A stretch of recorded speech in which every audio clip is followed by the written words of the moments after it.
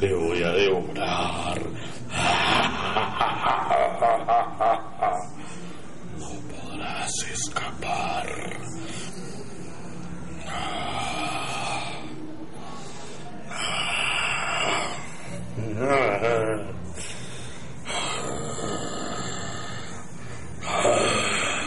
Es mi